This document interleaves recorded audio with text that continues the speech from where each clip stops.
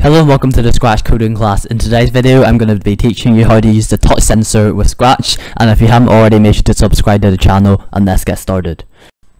If you didn't check out the last two videos of this series make sure to do so and in today's video I'm going to be introducing you to one of the most important parts in robotics and these are sensors. So basically sensors provide robots with information about the environment and with sensors in the EV3 kit, uh, we're going to look at the touch sensor today, and we've got um, loads of other sensors that um, we've actually got motor like rotation sensors built in the motors, and we've also got the color sensor.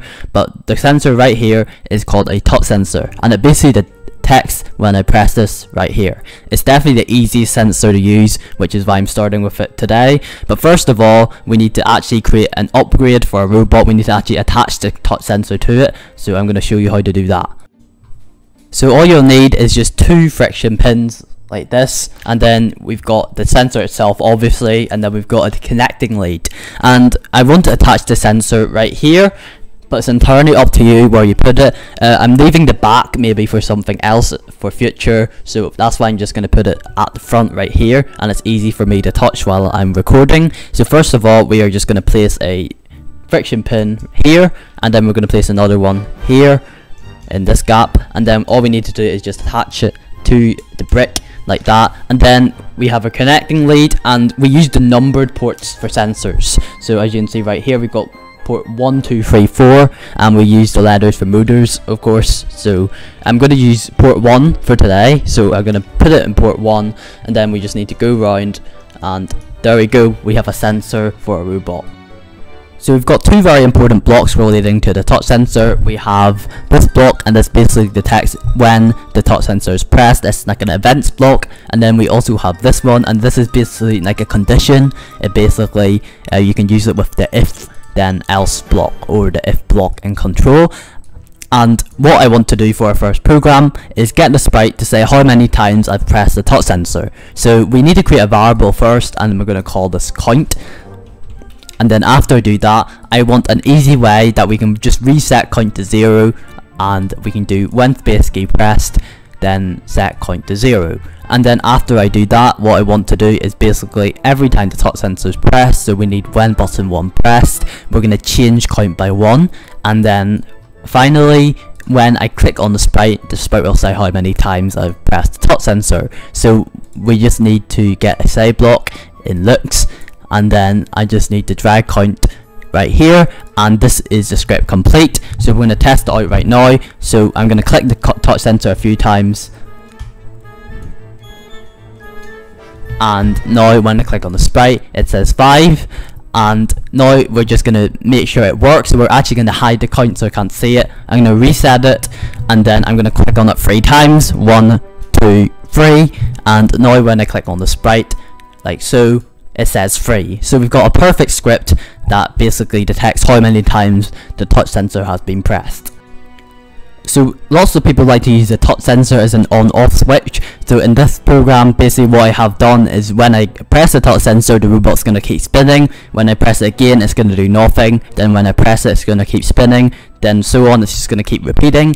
So what we want is a forever loop to start off with and then we need a wait until button is pressed. And then when the touch sensor is pressed uh, we're just going to move the motor B and then when I press it again it's just going to do nothing and this just repeats constantly so let's press the green flag and when I press this and then when I press again it turns off. When I press again it turns on. When I press again it turns off. So that is a very simple on off switch and you can make it do different things instead of just turning in a circle. But now we're going to move on to our final program today.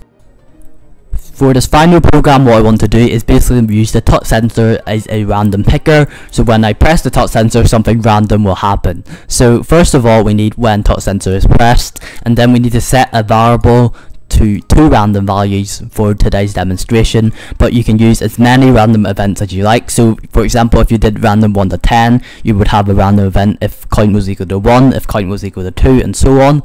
So we're just going to have two events just to save a bit of time. So if count is equal to 1 then something's gonna happen and then if count is equal to 2 something's gonna happen.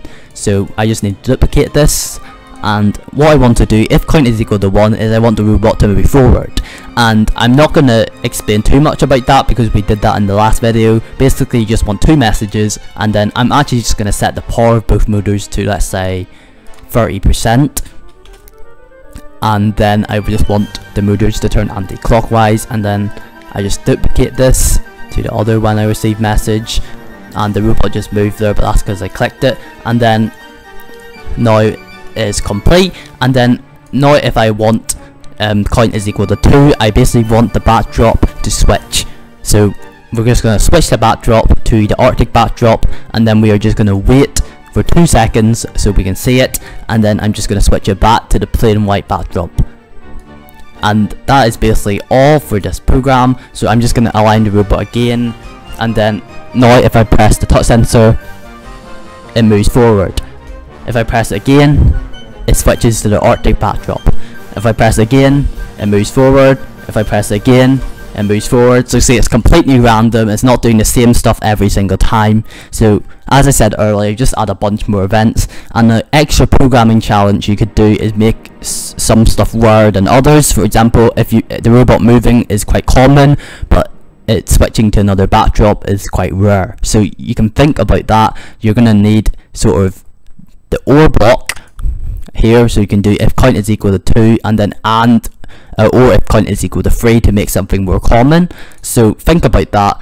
And that is going to be it for today's video. So if you enjoyed it make sure to leave a like and subscribe. And we are definitely not done with sensors. So I will see you in the next video. Bye for now